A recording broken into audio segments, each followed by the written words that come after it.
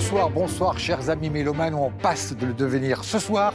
Plaisir particulier de fin gourmet. J'accueille avec moi les deux petits princes, les deux jeunes princes de la musique baroque. Alors évidemment, si vous pensez que la musique baroque, c'est une musique ancienne avec des perruques, etc., ils sont exactement l'incarnation du contraire par leur vitalité, leur talent, leur sensibilité, mais aussi leur joie de jouer. Je suis heureux d'accueillir sur ce plateau Justin Taylor. Vous jouez de quel instrument?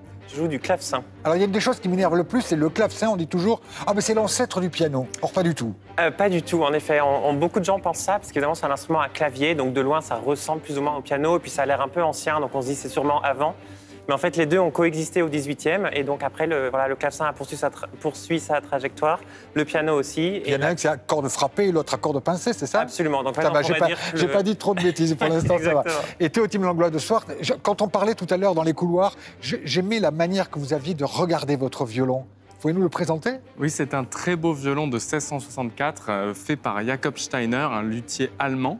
Et donc, c'est un- vraiment un violon exceptionnel que j'ai la chance de jouer, qui m'est même prêté par une fondation, parce que je, je pourrais peut-être jamais me l'acheter, malheureusement. Mais euh, c'est un très beau violon. Alors, avec ce clavecin à cordes pincées, ce très beau violon de 1666 ou 64, 64, pardon, eh bien, ils réussissent à faire ça, la joie de la musique.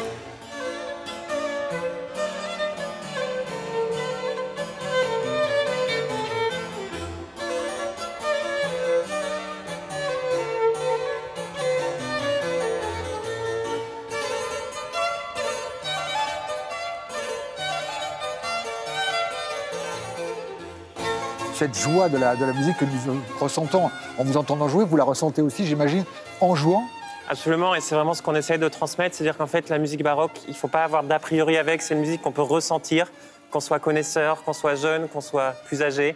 Et euh, voilà, donc c'est vraiment cette euh, sorte de jubilation qu'on aime euh, transmettre euh, à notre public. Mais moi, je me suis retrouvé dans mon salon en, en forçant le son et en dansant. Je danse pas très bien, mais vraiment, ça m'a. c'est vraiment de la musique de danse qui a été écrite pour danser. Il y avait aussi de la musique d'opéra pour chanter. Et c'est vrai que dans ce disque, c'est ce qu'on a essayé de faire, c'est-à-dire à la fois chanter et danser. Et là, c'est un beau mouvement de danse. Alors, euh, les, compositeurs, les compositeurs qui ont créé ça, donc il y a donc deux frères, les frères Franqueur et aussi François Rebel, qui est donc euh, et François Rebel et François Franqueur fais- faisaient un, duo merveilleux à, l'époque. Donc on est, on est évidemment il y a quelques siècles, qu'on appelait les frères siamois de la musique de chambre. Est-ce que dans votre relation, dans votre complicité exceptionnelle, vous êtes, inspiré de cette relation-là? Est-ce que vous les avez choisis pour ça? Alors, on ne les a pas choisis pour ça, on les a choisis parce qu'on trouve cette musique, voilà, comme, vous l'avez dit, vraiment euh, merveilleuse, très spontanée, euh, voilà, très improvisée, on peut vraiment se l'approprier. Mais c'est vrai qu'au fil des années, on a évidemment euh, tissé une, une relation très, très particulière parce qu'on a fait beaucoup de concerts ensemble, des enregistrements, on passe beaucoup de temps ensemble, puis on est aussi amis dans la vie. Donc euh, oui, c'est vrai que la musique crée des liens vraiment très intenses entre les personnes. Alors 98,17% des gens qui s'assoient sur ce canapé, c'est une euh, sondage au pifomètre, mais c'est à peu près ça, sont des enfants de musiciens. C'est votre cas aussi, le C'est mon cas. Mes deux parents sont prof- professeurs de chant. Euh, ma mère est chef de chœur. Mon père aussi a été chef de chœur. Mon père joue de la guitare. J'ai été mis au violon à 4 ans. Mais pourquoi vous êtes tombé dans la musique baroque? On choisit la musique baroque? Alors, on choisit un peu la musique baroque parce que c'est une musique qui, nous- touche, qui nous parle. Elle a un caractère extrêmement euh, moderne parce que cette simplicité harmonique pourrait s'apparenter à ce qui existe aujourd'hui dans la musique pop. On peut dire ça. Il y a aussi une grande sophistication du discours, comme on pourrait dire quand on va à Versailles et qu'on voit tous les ornements, qu'on voit toutes les dorures. Et c'est en fait c'est une musique qui nous parle parce que c'est une musique qu'on pourrait dire qui est presque crue, qui peut être euh, extrêmement directe. Et en fait, c'est cette proximité avec les compositeurs, avec ce son de la musique baroque qui fait que voilà, on est Alors- devenu passionné. Théotie, vous avez fait un, un- un disque absolument merveilleux avec, euh, en, en duo avec William Christie, le grand maître de la musique ancienne. Vous avez été fâché pendant plusieurs semaines qu'il vous ait, qu'il vous ait Non, trahi non, comme ça avec le, avec le Non, grand maître. il y a, y a pas de. Quel est le de- rôle de, de de William. Christie dans ce panorama musical baroque? Bah, c'est évidemment un- une des personnes qui a le plus popularisé, je pense, euh, la musique française surtout. Donc c'est vrai que c'est aussi. C'est le euh, parrain. Oui, c'est ça. Il, il a vraiment, euh, il a vraiment permis de donner cette, cette musique au plus grand nombre. Et c'est nous, à notre échelle, c'est aussi ce qu'on essaye de faire. donc son ensemble, c'est les arts florissants. J'ai toujours été stupéfait de voir à quel point il incarnait les arts florissants à lui tout seul, n'est-ce pas? Et en fait, ce que ça raconte, c'est une histoire presque de, donc de génération, mais aussi une histoire amicale, fraternelle, comme ses frères Franqueur, comme Justin et moi aujourd'hui, où finalement la musique prend le pas sur la fraternité, sur l'aspect, la- les filiations. Et en fait, on raconte toujours des histoires de famille. Finalement. La famille Franqueur. La famille Franqueur et la famille de, de William Christie, finalement, les arts Voilà, florissants. Absolument. Et si on les écoutait, William Christie, les arts florissants.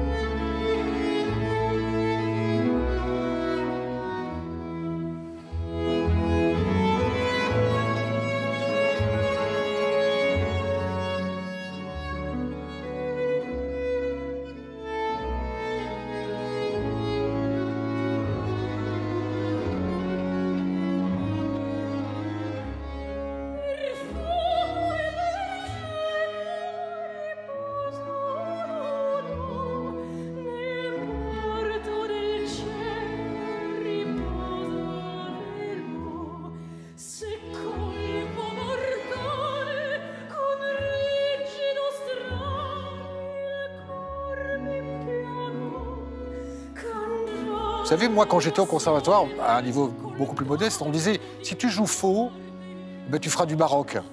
Il y avait ce mépris du monde classique pour la musique baroque. Ça, ça a complètement disparu. C'était peut-être aussi une méconnaissance du répertoire. On connaissait très bien genre Sébastien Bach, Antonio Vivaldi, Scarlatti peut-être. Mais ensuite, c'est vrai que grâce à des personnes notamment comme William Christie, on a redécouvert tous les joyaux de la musique française. Et c'est ce qui nous tenait à cœur dans ce disque. Il faut imaginer que dans ce disque, il y a à peu près 70% de la musique n'a jamais été enregistrée depuis sa composition au XVIIIe siècle. Donc c'est une recréation. Donc Alors, justement, comment est-ce que vous faites pour choisir, aller chercher Parce que c'est presque Indiana Jones dans les bibliothèques. comment, comment ça se passe Non, mais c'est vrai qu'il y a effectivement ce côté un peu explorateur, défricheur. Bah, on lit énorme, on passe beaucoup de temps à déchiffrer des partitions. Donc, c'est-à-dire qu'aujourd'hui, on a la chance, beaucoup de partitions sont numérisées. Donc, finalement, c'est relativement facile. Bien sûr. Euh, Vous pouvez faire l'expérience chez vous. Vous allez sur Gallica, vous tapez Franqueur, vous aurez plein de partitions.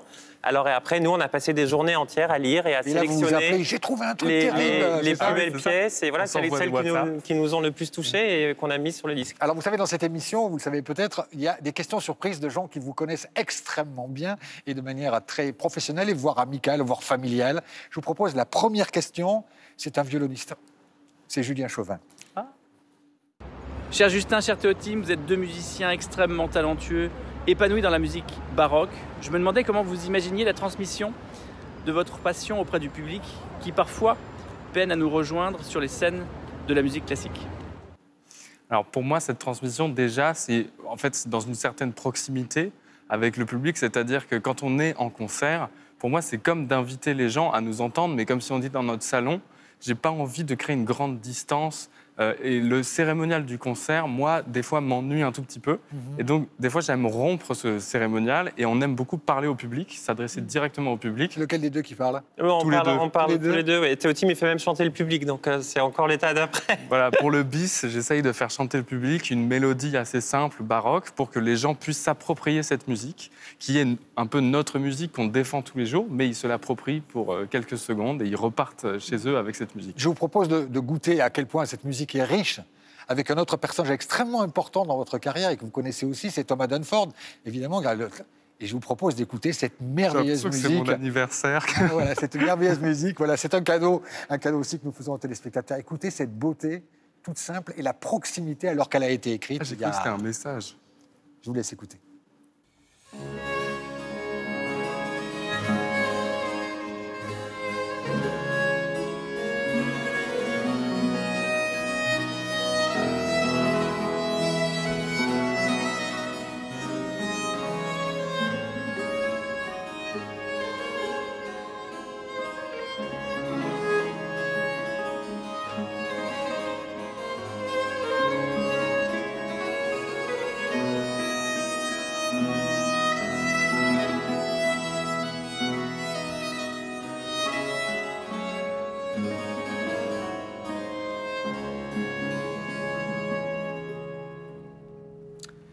Chaque fois que vous montez un groupe, que ce soit le consort, que ce soit les arts florissants avec ce soit- à chaque fois, comment est-ce qu'on s'intègre avec des musiciens? Par quel c'est un goût commun de la musique? C'est comment comment on choisit? Oui, c'est des affinités, évidemment. Ce répertoire, il appartient à tout le monde. Il y a plein de manières de l'interpréter, finalement. Et c'est ça qui est assez fascinant avec la musique baroque. C'est qu'en fait, les partitions sont plus des trames qu'il faut interpréter et chacun peut y mettre un peu sa patte. Et donc, en fonction des affinités, voilà, les groupes se, se font. Et... Alors, je ne sais pas si au XVIIIe siècle, Stakhanov existait, mais vous êtes d'authentiques stakhanovistes du disque, et puis vous en sortez un tous les 15 jours. J'exagère à peine. Vous en avez fait combien en deux ans? Oh là. Vous n'êtes même pas capable de répondre. Il y, a, il y vraiment euh, une production intense. On sent un puissant désir d'amener jusqu'à nous la musique. Jouer dans un studio, c'est quand même se retrouver confronté à soi-même. Il n'y a pas de public là, n'est-ce pas? Ben, c'est vrai qu'on se questionnait sur, ces, sur, sur tout ça en- exactement en ce moment parce qu'on est en train d'enregistrer un disque euh, à, À Paris. Paris. Euh, voilà, on a enregistré toute la journée, donc on est un peu fatigué. Le maquillage euh, cache les cernes, ça- mais c'est très terrible. intense, un enregistrement. Et donc toute cette semaine, ça a été voilà, euh, on, on se prend au jeu de vouloir laisser presque euh, une trace pour une musique que- qu'on s'approprie, qu'on aime tant, et qu'on a envie de défendre le mieux possible. Et donc des fois, c'est presque un processus douloureux. Mais à la fois, on adore parce qu'on fait beaucoup trop de disques, on pourrait dire. Mais c'est plutôt positif. Je vous propose quelqu'un qui partage tout à fait cette passion. C'est Adèle Charvet. Cher Théotime, cher Justin, ma question concerne la musique de chambre. J'aimerais savoir quelles sont selon vous les qualités requises pour euh, être un bon partenaire musical, être un bon chambriste, et du coup, quelle est la recette de votre lien à tous les deux? Qu'est-ce qui fait qu'entre vous, musicalement, ça marche si bien Et comment on fait durer cette amitié musicale dans le temps? Je vous embrasse. Alors, le, secret de votre entente, d'abord, parce qu'elle est- elle est évidente, elle est évidente aussi par les yeux et les oreilles. En, en vous entendant, vous êtes immédiatement sur la même longueur d'onde. C'est quoi le secret? Bah, parce que je pense qu'on a une passion commune pour le pour l'émission du son, pour voilà ce, ce côté assez euh, assez charmant, assez sensuel presque de, de la musique. Et puis après, pour moi, c'est peut-être sûrement l'écoute en fait qui est le plus important, parce qu'en fait, en- vous allez voilà, en- quand on joue ensemble, il y a toute cette partie où on va interagir en fait. C'est vraiment une ça ce qui fait discussion le, sur le scène. bon chambriste, c'est celui qui est capable à la fois de jouer et d'entendre l'autre? Absolument. Et j'ai l'impression que c'est vrai que depuis qu'on s'est rencontrés avec Justin, on était tous les deux étudiants au Conservatoire de Paris, on a un peu rencontré notre alter ego euh, d'une autre famille d'instruments. Comme les frères vrai, Franqueur, C'est finalement. absolument ça. Le, le clavecin est extrêmement différent du violon et les deux se complètent parfaitement parce que c'est complémentaire entre la corde pincée, la corde frottée, c'est tout ça fait un mélange et donc on a rencontré vraiment notre alter ego euh, avec la même esthétique. Alors, il y a quelque chose que, que ne peut pas faire Justin, absolument pas, c'est le vibrato. Ça c'est vrai. Et le rapport du vibrato du violon au chant me laisse penser que vous aimez beaucoup le chant. Ah, moi, je suis fasciné par la voix et fasciné par le chant et j'essaye de reproduire les inflexions des chanteurs avec le, le violon, avec le son de la corde en boyau. Et pour moi, c'est vrai que ça fait partie, c'est un peu ma- la quête d'une vie, d'imiter la voix. Et, et c'est ça qui, je pense, euh, on a tous une voix, on est tous capables de chanter. Et c'est ce qui nous touche, peut-être dans la musique, dans le son, c'est d'abord la voix. Donc il y a ce- cette émission, cette chaleur, ce, vibra- ce vibrato que vous recherchez purement vocal. Mais il n'y a pas que le chant que vous aimez, vous aimez aussi la danse, par exemple? Oui, absolument. J'ai déjà fait un, un projet avec un danseur et c'était génial parce qu'il a apporté à la musique de Vivaldi euh, énormément de fougue, énormément d'idées. Et finalement, c'était comme de, de montrer toutes les idées qu'on a, nous, dans notre tête quand on joue cette musique, on essaye d'exprimer au public, les expliciter par Ah bon? le visuel. Je n'avais jamais entendu parler. Ce serait pas François Allu, par hasard Euh, si, si, absolument. Ah, ben on va l'écouter.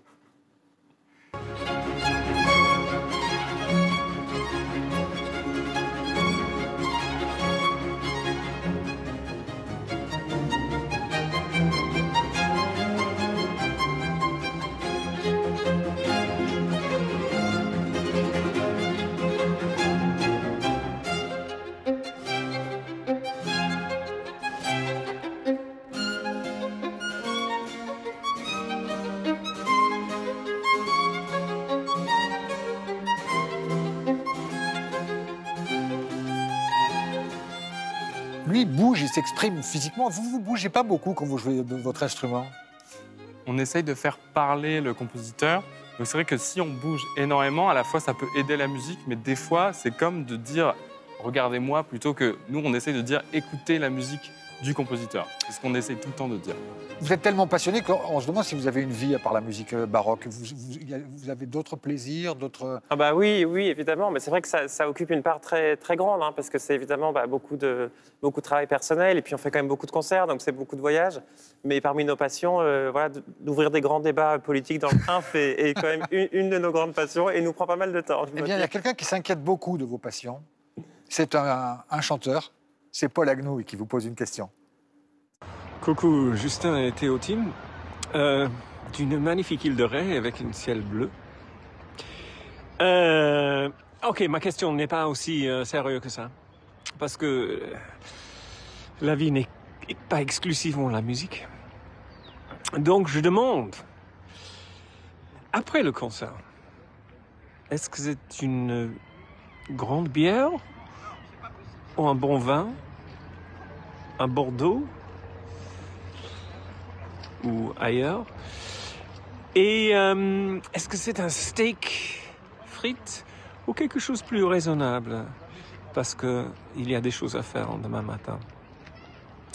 Voilà, c'est des questions quand même centrales à la vie de tout artiste. Euh, je vous embrasse tous les deux. Je vois que Paul Agneau pose des vraies questions pour les vrai, artistes, ça. alors vous êtes plutôt steak frites. Les plaisirs de la vie, c'est important aussi quand, vous, quand on fait votre métier.